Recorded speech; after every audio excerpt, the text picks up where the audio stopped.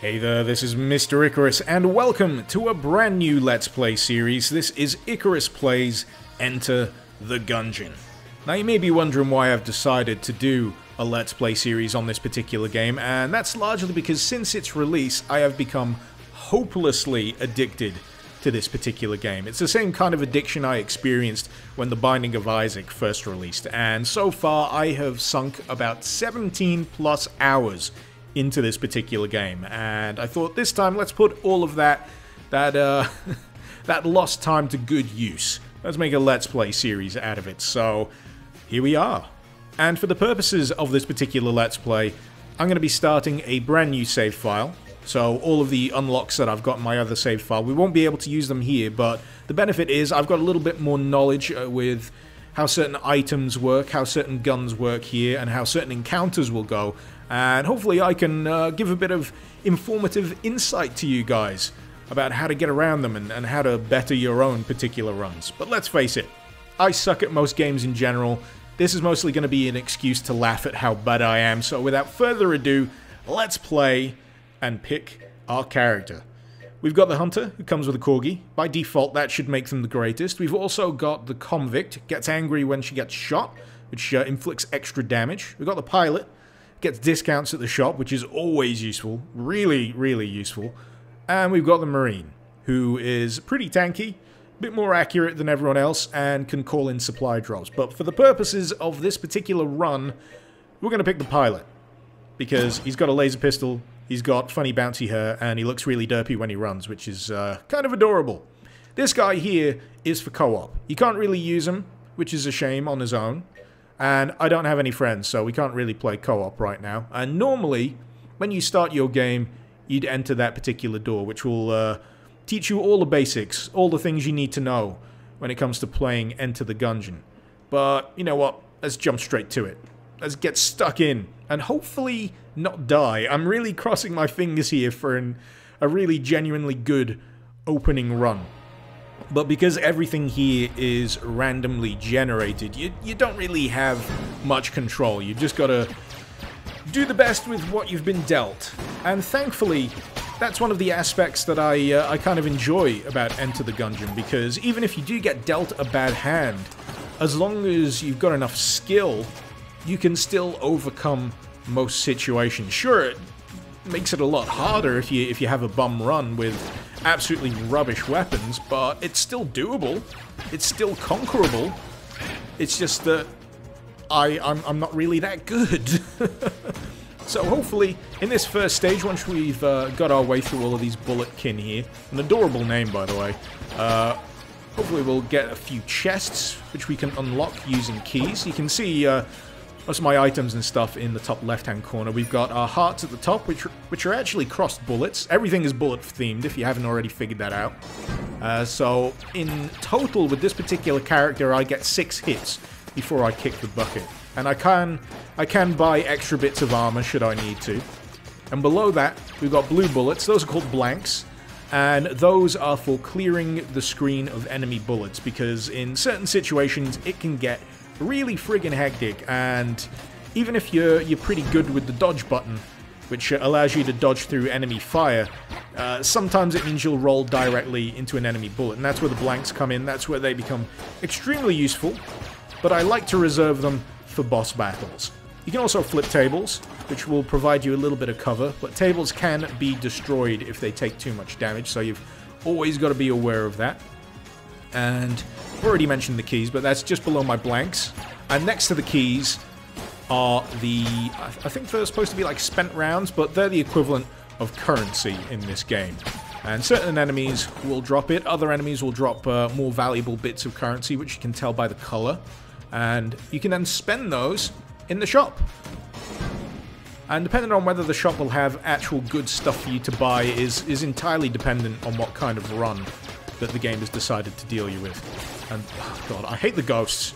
Namely because they, they get an AK and they just absolutely spray it all over the place. And these blue shotgun bulletkin guys, I always get caught off guard by the fact that they, they fire two rounds in quick succession. Part of this game's appeal is learning the, the bullet patterns of each individual enemy.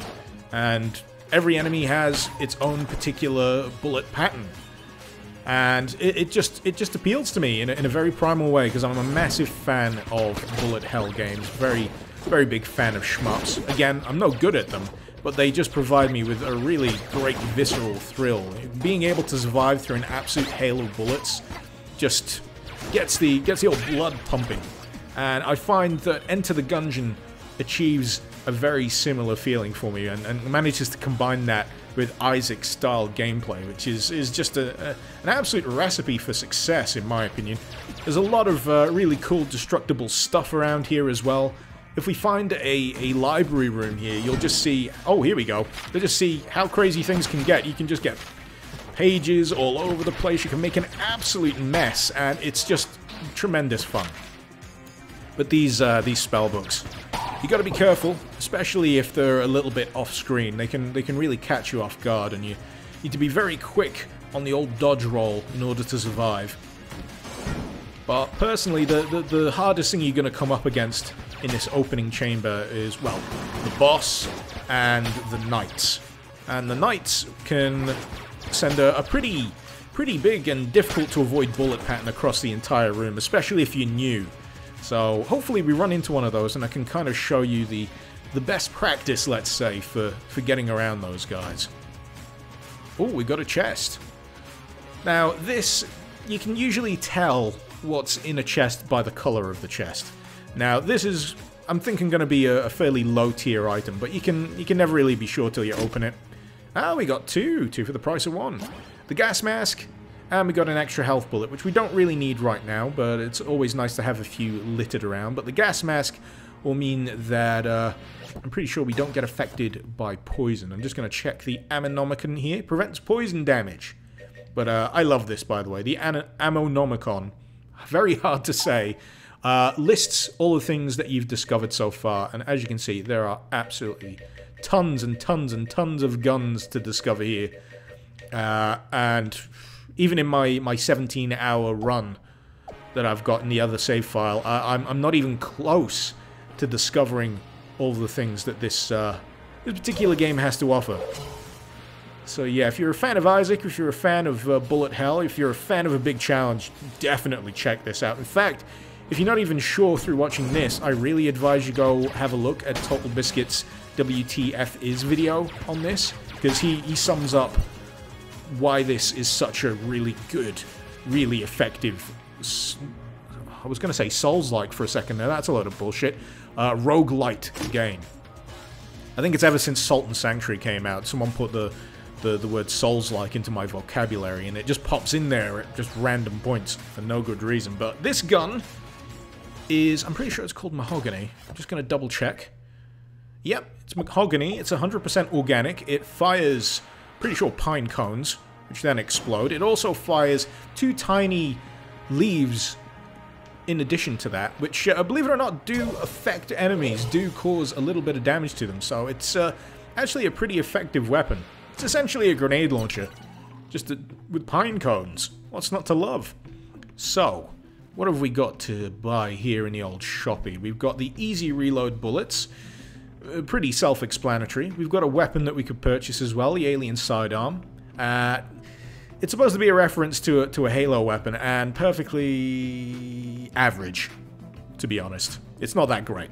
We could also get a map, which will show up any hidden rooms. It's a little bit of a gamble whether that will work or not, considering we've only got 56 uh, uh, bits of shell casing here. So I'm just going to go for the armor, because we've already got extra health kicking around this stage. And we're going to go hoover that up before we go see the boss.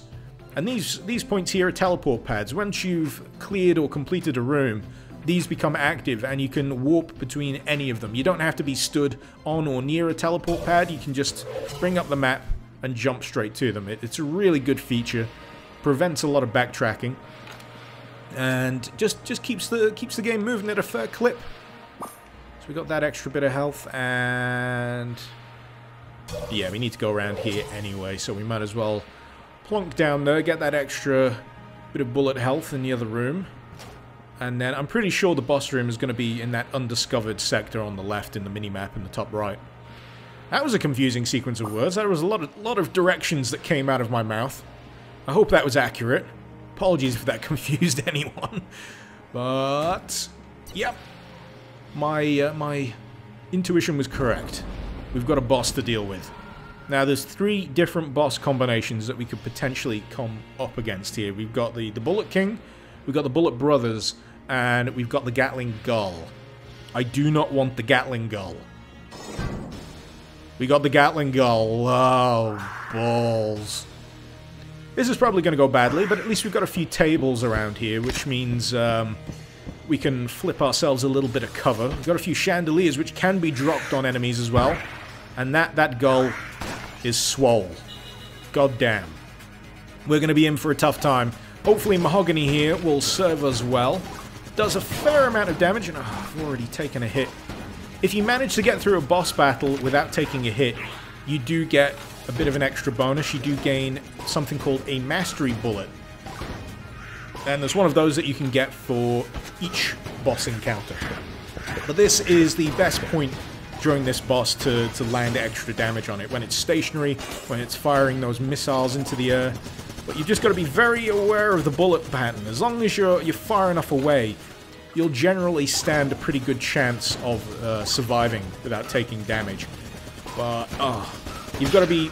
Ooh, I, I just wasn't taking any notice of the health bar.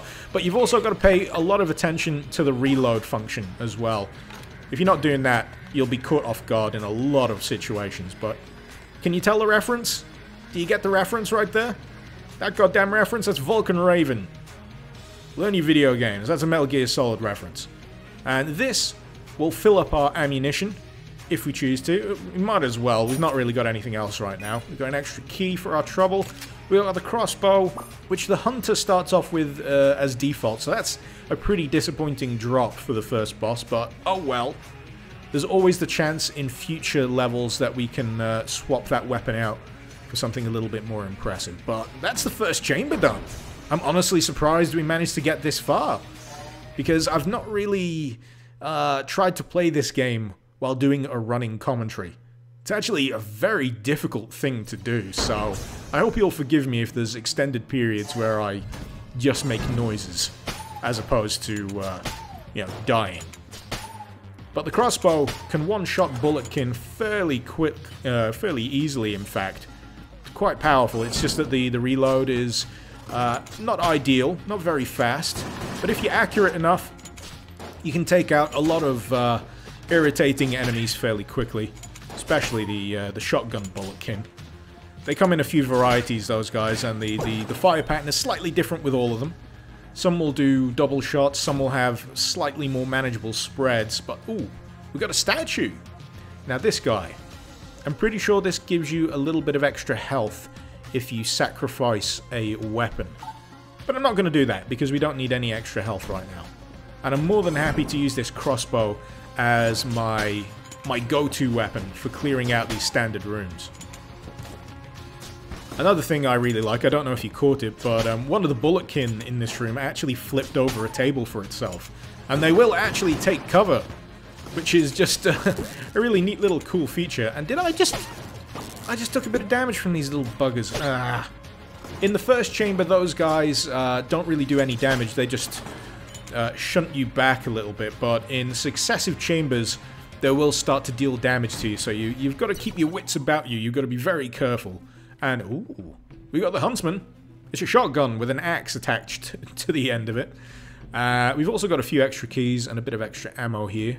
We can afford the Huntsman but personally, I like to explore the levels uh, in their entirety before I buy anything from the shop. Because uh, you never know what you're going to run into, you never know how much damage you're going to take, and you may eventually just need to, to buy some extra health and have to forego buying a new fancy gun. And it's not always advisable to have a crap ton of guns because it can get a little tricky to manage them in certain situations, especially if you're up against a boss or a, a few tough characters. You want to be sure that you're going to be selecting the right weapon uh, fairly easily and fairly quickly. Like these guys, for example. If there's a lot of snipers in a room, or this guy, you'll uh, you'll find that having to switch through weapons will lead to you taking a lot of hits, which we don't want to do. But we do want to take this down, this guy down as quickly as possible. I'm really going to have to learn its name. Hey, there we go. Was saved by intelligent dodge rolling. But just because the enemy's dead doesn't mean you should relax. Uh, those projectiles will stick around. And I'm going to learn the name of that particular enemy because I can't just be making up my own names. It'd be amusing to make up my own names, but I don't like to do that when someone's put in the effort to create all these bullet-related sons of bitches. We got Gundead Undead, those are the ghosts with the AKs. We got Rubberkin. Ah, that's why they don't hurt you, because they're basically rubber bullets. Tazies. That explains everything. And we got spellbooks, we got the grenades, we got the the King Bullet. I see what they did there. Uh, where is it? It's down here somewhere. There it is. Lead Maiden. That's what it is. Lead Maiden. I hate them. Now that I know their name, I can more accurately scream in the middle of the night when I wake up in a cold sweat after having a nightmare where I try to avoid a bunch of friggin' lead maidens. Another thing that's annoying to go up against are these guys. They're, um... They're blobs. They're blobs that multiply. And you don't want to be using a slow-firing weapon with these. You, you ideally want something fairly fast-firing, like my default pistol here. So you can mop them up in uh, double quick time. But now, yeah, we're going to have to use a little bit more heavy-duty equipment. No! I rolled straight into that pit. But the thing is, a, a, lot of the, the predicaments that you find yourself in here, it's, it's more often than not entirely your own fault for not uh, being observant enough, uh, skillful enough. It does, in effect, remind me a little bit of Dark Souls. It's harsh, but fair. And this guy requires a key to get through, but we'll need another key in order to unlock the box. So, we can take a risk here. We've got our lockpick, and we could use the lockpick to open this gate, but there's a high chance it could break. It didn't break! Yes! And now we can unlock the box, and we have got a heavy bullet. And I'm pretty sure that means my bullets are gonna have extra knockback. Increases damage at the cost of bullet velocity, so my bullets will probably fire a little bit slower, but will hit a little bit harder, which is absolutely fine by me. And that, and that works for all of the weapons that I've got at the moment. You'll also get rooms like this. I'm not entirely sure what to do with these particular rooms. Uh, even during the course of my 17 hour save file, I'm just completely nonplussed as what I'm supposed to do with them, but I'm sure eventually I'll figure it out, or someone in the comments will yell at me, telling me what, it, what I'm supposed to do with them. But yeah, let's go back to the crossbow. And yeah, my crossbows are now firing a hell of a lot slower, but the they're now probably going to be hitting a hell of a lot harder, considering most of the enemies that I've got here are pretty much one-hit kill it won't really make much of a difference, so I'm probably going to have to save the crossbow for tougher encounters or bosses now. But yeah, when it comes to bosses, you want all of the, the high-powered weaponry you can get. And right, we haven't fully explored this place yet, so we're going to do just that, just in case there are any more extra fancy weapon-filled crates kicking around. I'm going to try our best not to fall into these pits as well. It took me the longest time for my eyes to... Ah, damn! I can't believe how close that was. I thought I genuinely fell into that pit as I was trying to articulate why pits are hard to kind of get your eyes around because the the, the kind of top-down thing here, I'm not kind of used to it. So um, it's taken me a while to, to gauge how to roll over those effectively without eating spike. Ooh. We're okay, we're okay. I thought I nearly took a hit in this room then, but I'm pretty sure we're gonna run into a crate. Yeah! Nine times out of ten, you're gonna run into a crate when you've got a, a dead-end unlock room like this, but because we don't have a key, and I'm a little bit wary of using my lockpick, I think we're gonna pay a visit to the old shopkeep, using the handy teleport pads, and we're gonna buy ourselves a key with our fancy pilot's discount. And we're going to see what's in the box. We're going to see what fancy stuff we can uncover. We got a... Oh, it's a bullet enhancement. Bouncy bullets. Ooh. So not only do my bullets also hit a little harder, even though they travel a little bit slower, they now bounce all over the goddamn shop. That's pretty cool. That's that's pretty useful, especially if you're a complete spaz like I am. If you're playing with a controller, by the way, uh, the game does afford you a little bit of leeway with the aim, but if you're playing with a keyboard and mouse, I'm not so sure it allows you to do that. When you're playing with keyboard and mouse, I'll, I'll just try now with the uh, the mouse, in fact. It gives you this this little uh, aiming reticule, which I found a little bit distracting, to be honest, so I'm just using my 360 pad instead. But we've got one more mystery check to look through here at the top. Hopefully this is just one room. I don't want to spend too long around here, because the longer you generally spend in an area, the the more damage you're likely to take, which um, is definitely the case for me right now. But, oh, that's nice. It gave me a bit of health as well as extra ammo, so what do I want to ammo up on? I've got a lot of ammo for my mahogany. Yeah, extra crossbow. That should do it. And I'm going to have to be fairly on the ball here because we want to keep as much health as possible on our person for the inevitable boss encounter. I think Chamber 2 gives you, again, three different possible bosses. Maybe three, could be two, I could be wrong. Uh, one's a Medusa Gorgon style thing that can um, temporarily stop you from being able to fire your gun and poison you and all sorts of really unpleasant crap. And the other one, pretty sure is a giant snake. A giant armored snake that can shoot a lot of bullets at you. It's a very tricky pattern. Actually has a bullet pattern that uh, resembles, you know the old mobile phone game Snake? It has a bullet pattern that does the exact same thing. It's pretty fun, actually. And this is a cell. This is something you're going to run into fairly often. This is something that you will need to unlock in certain situations. Sometimes you'll just be unlucky and you won't be able to get the cell key, but these guys, when you get them out of here, they will open a shop on the, the top level of the dungeon called the Breach, which will enable you to, to spend credits and unlock extra weapons and guns and, and fancy bits and pieces. So That'd be useful if we had the key, but we don't. So, you know what? Screw you, Gungeon. But we're going to open this particular chest, and you never know, this might have a cell key in it. It doesn't. It's got a hex gun instead. The hexagun is actually pretty fun. I'm pretty sure it can turn certain enemies into chickens. But uh, we'll, we'll have plenty of time to explore that. First, we're going to have to kill ourselves a boss. So, what are we up against? Oh no, it's the one that I didn't mention. It's the Beholster. This guy. This guy right here is probably going to kill me. So we're going to have to be very, very, very friggin' accurate with our fire and very, very skillful with our dodging because as you can see he's got a lot of crazy stuff he can fire at you I mean, that Ah, oh, jeez. I took a hit already. I was going to say, this fire pattern right here isn't too bad. It's probably the easiest thing about the Beholster to deal with. And ah I've got lasers. we got lasers. I'm going to use the hexagun. We're going to see if the hexagun's any good. Oh, it actually does a fair bit of damage. But... Oh, the Beholster's also doing a fair bit of damage to me as well. Buggery. Okay. We can do this. We haven't used any of our blanks so far, which I really, really need to start doing. Uh, balls, we got one hit left. We're going to have to be careful.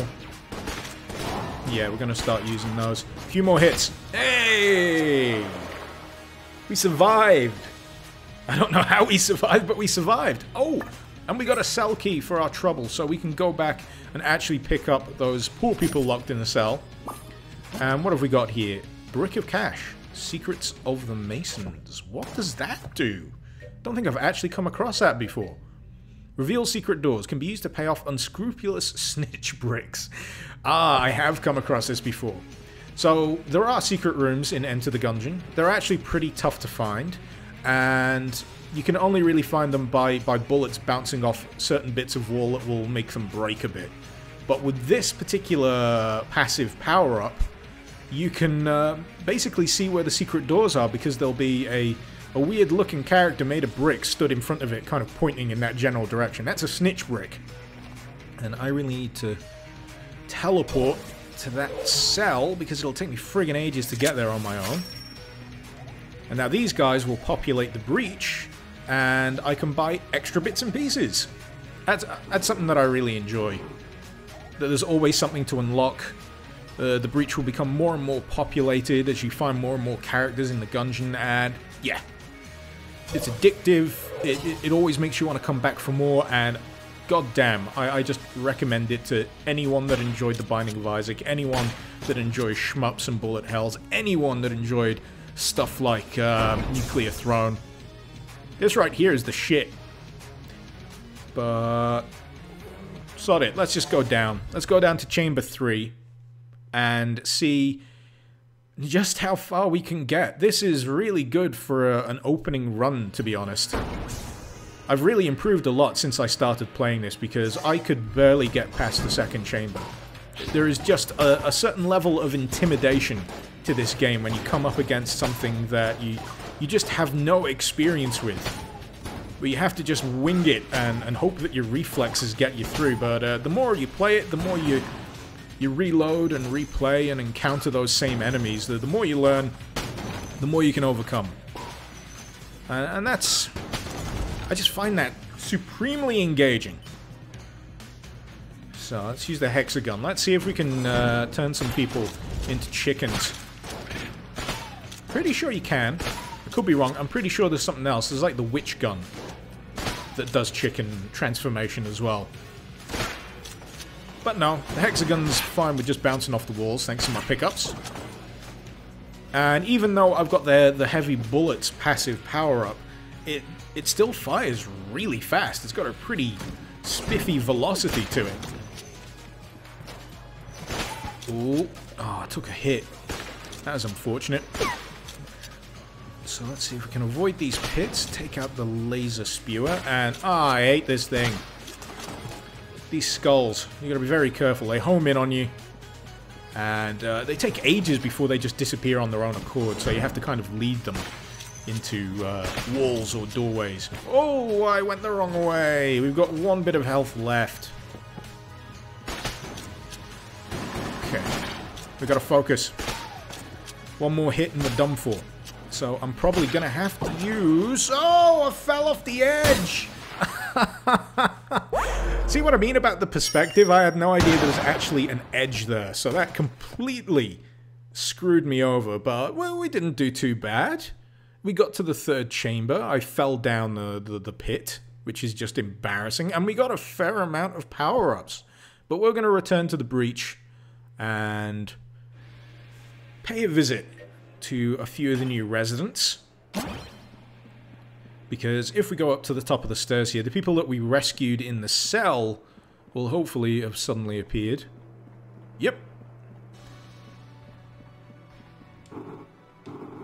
And this is the acquisitions department.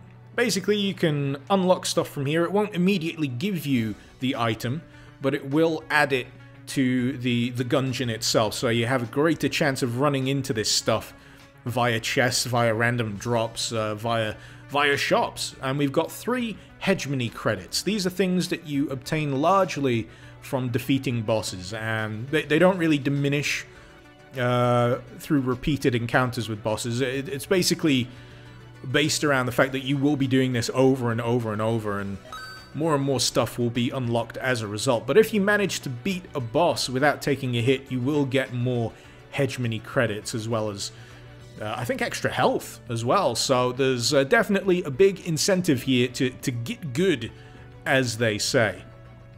But yeah, this has been a, a fairly sizable episode. It's been about, what is that, half an hour? The runs are, are pretty exhausting, to be honest, especially for the first time round. But the more you play it, the more you get into it, the more drive you have to, to overcome and conquer it. And I just absolutely love Enter the Gungeon to bits. And Hopefully you've enjoyed watching this video. Let me know what you think in the comments below, as well as, well as any uh, helpful suggestions, any things that you think I'm completely faffing up. This has been Mr. Icarus. Thank you very much for watching. Hope to see you next time. Icarus out.